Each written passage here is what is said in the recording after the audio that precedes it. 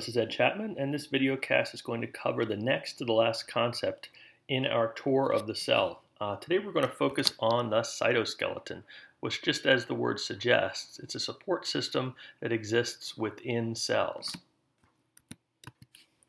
Now the cytoskeleton is based not on bones, but on protein fibers, and they come in lots of different kinds, but basically they're all fibers, which means they're linear, and they're made from amino acids, as all proteins are. And the primary job of um, the cytoskeleton is structural or um, functional, um, the meta meta metabolism of the cell. And the easiest way to see this is we color code it. An example of its structural function is to give shape to cells, especially animal cells, which lack a cell wall. And an example of an activity the cytoskeleton works for is cell division. Now, the cytoskeleton makes things move by interacting with other things and other fibers. And to make this happen, you have to have ATP. And microtubules, for example, act like trackways along with which vesicles can be transported. And to make this happen, we have to use something called a motor protein. We're going to watch a video to see this because it's easiest to see when something's moving.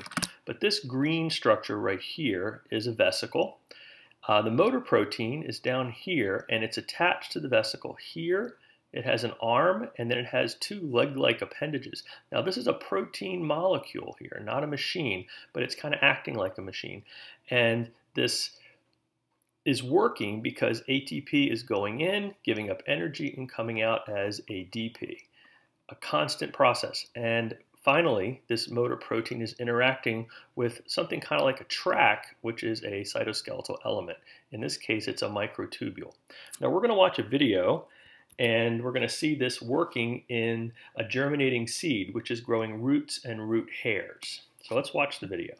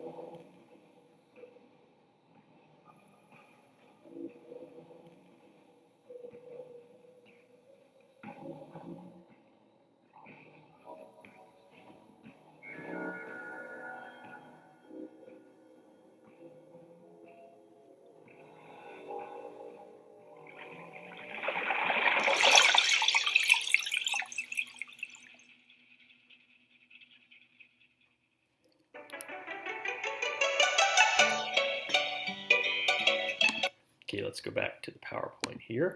And in that video, I'm hoping you got to see the germinating seeds producing a root hair. And within the root hair, we have, wait for the clock. and within the root hair, we have vesicles being dragged to the tip of the root hair where the growth is taking place to supply the growing cell wall and cell membrane with raw materials stored inside the vesicles. So you can see how the motor proteins make all this happen. Probably the most familiar part of the cytoskeleton are the cilia and flagella, which you probably are familiar with, uh, just in case you aren't. A flagellum is a single long appendage that the cell uses to swim, for example, a sperm cell, and cilia are hair-like projections built pretty much the same way that cover the exterior surface of a cell, like a paramecium, and they wave in unison to allow the cell to swim. All right, so this guy can swim in pretty much any direction. They tend to roll and spin, whereas a sperm cell obviously would be swimming in this direction by wiggling its flagella. So I think you guys get the idea.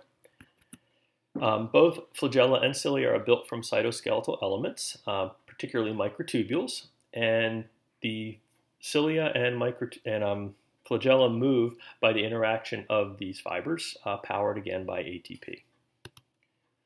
Another example of the cytoskeleton in action causing things to move is cytoplasmic streaming, and this occurs when the cytoplasm inside of a cell, like a plant cell, streams in a loop around the inside of the cell. And again, this is happening because of a different type of cytoskeletal element called actin filaments. And actin filaments, a carpet of them pretty much provide a track upon which um, other things in the cytoplasm, especially chloroplasts, can be dragged. And this is kind of easy to see if we look at a video. So let me run this video.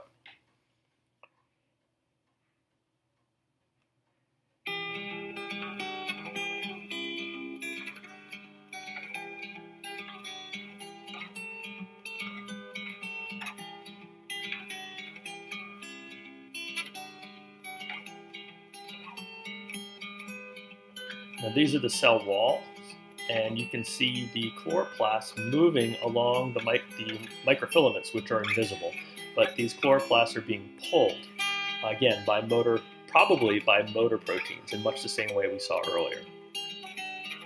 This makes sure each chloroplast is exposed to the maximum amount of light for one point in the cycle, uh, allowing for maximum photosynthesis inside of a plant cell with only one leaf surface pointing towards the light. We'll stop it there. That's good enough. Go back to our slideshow.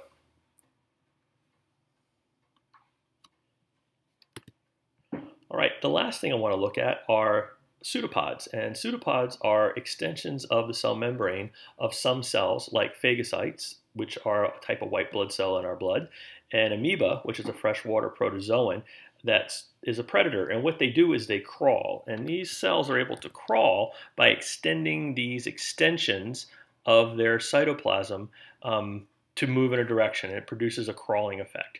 Uh, this is how phagocytes endocytose food. For example, this amoeba could literally crawl around a food particle and endocytose it inside of a food vacuole.